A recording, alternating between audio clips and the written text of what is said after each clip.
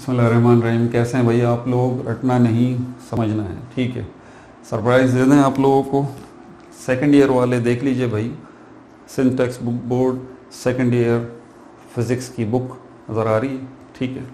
Sir chemistry कहाँ गई? English कहाँ गई? डायरेक्ट जंप फिज़िक्स पे। फिज़िक्स वो भी सिंध सिंटेक्स बुक बोर्ड फिज़िक्स वो भी सिंटेक्स बुक बोर्ड और सेकंड ईयर जी, बिल्कुल।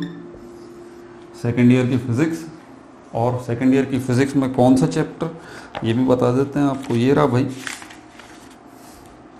Chapter seventeen chapter number seventeen और इसका नाम है एडवेंट ऑफ़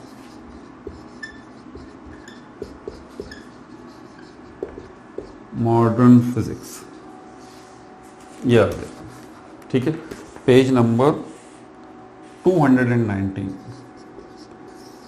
तो ये है सेकंड ईयर वालों के लिए चैप्टर नंबर 17 निकाल लीजिए भाई.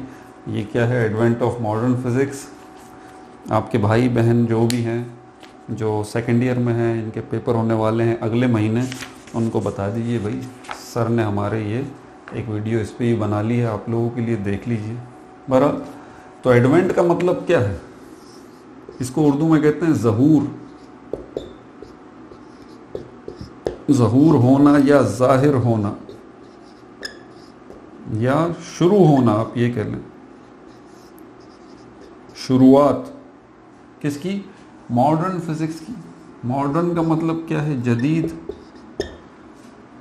कॉपी पेंसिल ले लीजिए भाई, और मुस्कुराते भी रहिए सॉरी भूल गया। तो जदीद, ठीक है? यानी कि एडवेंट ऑफ़ मॉडर्न फिजिक्स जदीद फिजिक्स का जहूर, जदीद फिजिक्स का स्टार्ट जदीद फिजिक्स क्या सर? फिजिक्स भी पुरानी है और नई है? बिल्कुल भाई। फिजिक्स दो हिस्सों में डिवाइड है, ठीक है? आपको बता देता हूँ। क्लासिकल फिजिक्स क्लासिकल फिजिक्स और modern physics modern physics history में अगर बताऊँ तो बिफोर 1900 क्लासिकल का मतलब होता है ओल्ड क्लासिकल का क्या मतलब होता है? ओल्ड तो पुरानी फिजिक्स या क्लासिकल फिजिक्स या ओल्ड फिजिक्स जो है वो 1900 से पहले की है, जितनी भी है सब की सब क्लासिकल फिजिक्स या ओल्ड फिजिक्स में चली गई। और मॉडर्न फिजिक्स जो है आफ्टर 1900 टिल नाउ अभी तक की 1900 से बाद से अभी तक की 2020 तक की जो फिजिक्स है, वो किसमें आती है? मॉडर्न फिजिक्स में।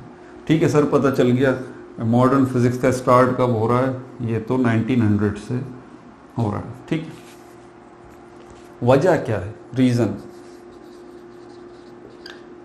रीज़न रीज़न बताने से पहले ये नोट करें। लाजमी आपको नोट करना पड़ेगा, सीखना है तो। मिटा दो इसको? मिटा दो इसको।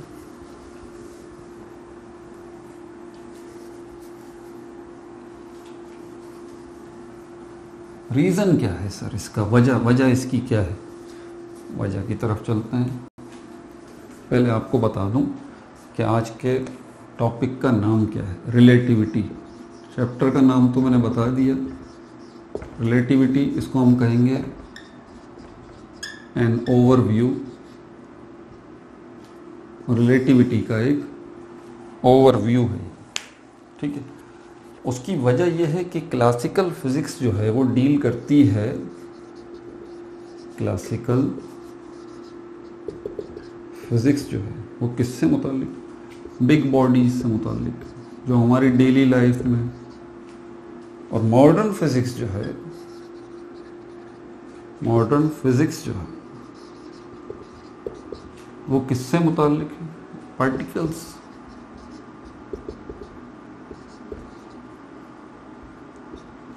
पार्टिकल्स से मुतालिक अब एक बात तो आपको भी पता होगी ये पेन, पेंसिल, मार्कर, मोबाइल, इंसान, पहाड़, समंदर, ये पूरी जो हमारी दुनिया बनी हुई है, जो हमें नज़र आ रही है सॉलिड लिक्विड गैस ये, वो सारी बिग बॉडीज हैं।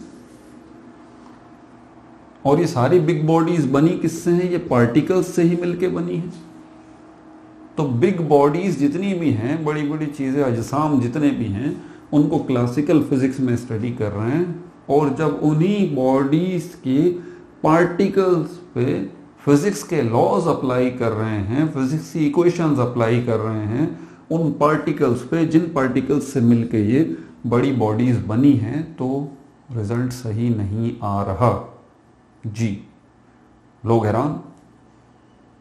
बड़ी बॉडीज पे लॉज अप्लाई कर रहे हैं फिजिक्स के रिज़ल्ट सही आ रहा। उनके पार्टिकल्स पे वही लॉज अप्लाई कर रहे हैं रिज़ल्ट सही नहीं आ रहा। ये था वो क्वेश्चन मार्क जिसको समझना बहुत ज़्यादा ज़रूरी था। इसके ऊपर फिर लोगों ने काम करना शुरू किया।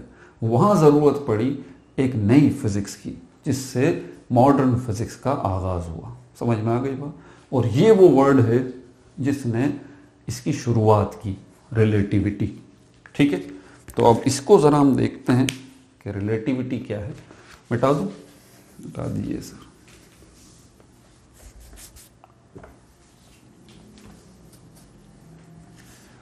रिलेटिविटी वर्ड किससे निकला है?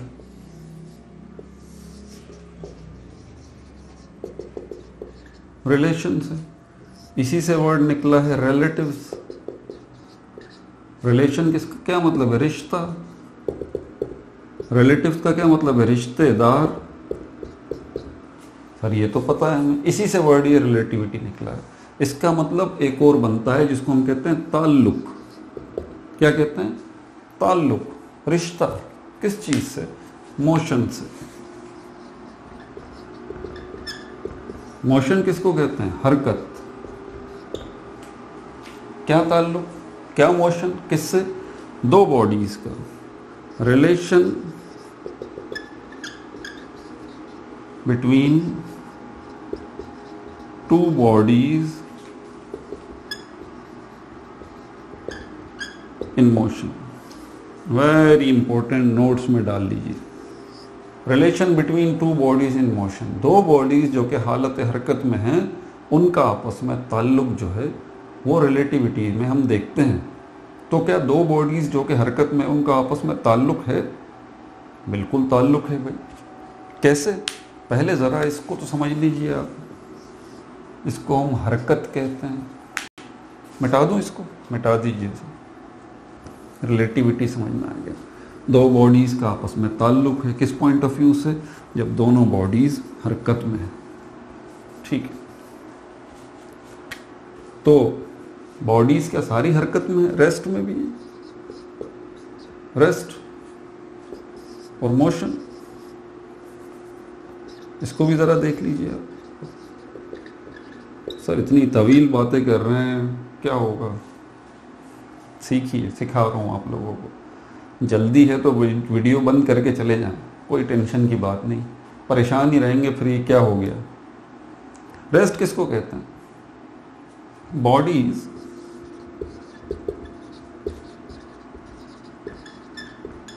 which do not change their position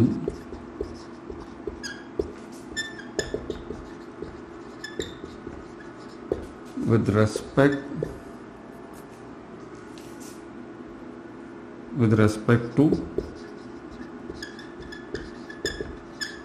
other bodies तो हम क्या कहते हैं? वो बॉडीज अच्छा। रेस्ट किसको कहते हैं? रेस्ट हम उस हालत को कहते हैं जिसमें बॉडीज जो हैं डू नॉट चेंज अपनी हरकत को बदलते नहीं हैं। अपनी सराउंडिंग के मुकाबले में या अपने इर्द गिर्द मौजूद चीज़ों के मुकाबले में। सर ये चीज़ अगर रेस्ट में है, ये बुक एक पड़ी हुई है, ये रेस्ट में है तो इसका इर्द गिर्द की मौजूद चीज़ों से क्या ताल्लुक है? ये मैं बताता हूँ पहले तो इस डेफिनेशन को समझ लीजिए। बल्कि इसको ही समझते हैं मोशन को छोड़ दें। कोई बॉडी रेस्ट में क्यों है?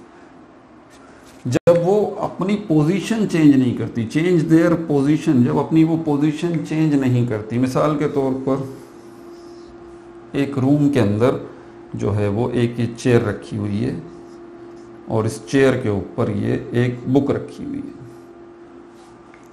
मैं आपसे पूछता हूँ, ये किस पोजीशन में आप बोलेंगे, सर रेस्ट पोजीशन में? अब ये बुक यहाँ से उठा के मैं यहाँ ले आता हूँ। आप को बोलता हूँ, अब जो है वो बुक जा रही है। बुक लेके मैं जा रहा हूँ तो मैं आपसे पूछता हूँ, अब क्या पोजीशन है बुक की? आप कहेंगे, सर, ये मोशन में। पहले आपने कहा, यहाँ पर थी बुक तो आपने कहा, ये रेस्ट में और जब ये यहाँ से यहाँ आई, आ रही है कंटिन्यूसली मैं लेके जा रहा हूँ, अब आपसे पूछता हूँ, आप कहते हैं, सर, ये मोशन में है, हरकत में है। आपको कैसे पता चला, ये पहले रेस्ट में थी और ये हरकत में। थोड़ा सा ज़रा इमेजिनेटिव बनिए फिज़िक्स को समझना है तो। कैसे पता लगा आपको? क्यों? क्योंकि सराउंडिंग में जितनी चीज़ें थीं, उसके मुकाबले में इस बुक ने अपनी पोजीशन चेंज नहीं की थी। वो सारी रेस्ट को, वो अपनी जगह पर पड़ी हुई हैं, इसने अपनी जगह चेंज कर ली। तो हमने क्या कहा कि इसने हरकत की। और अगर दूसरी चीज़ें अपनी जगह पर पड़ी हुई हैं, और उनके मुकाबले में ये भी अपनी जगह पर पड़ी हुई है तो हम इसको क्या कहेंगे? ये बॉडी रेस्ट में है। और अगर दूसरी चीज़ों के मुकाबले में ये बुक अपनी जगह चेंज कर रही है तो हम क्या कहेंगे कि ये जो है वो हरकत में है। सर, यहाँ तक तो पता है क्लियर हो गई बात, ये हमें पहले से ही पता है।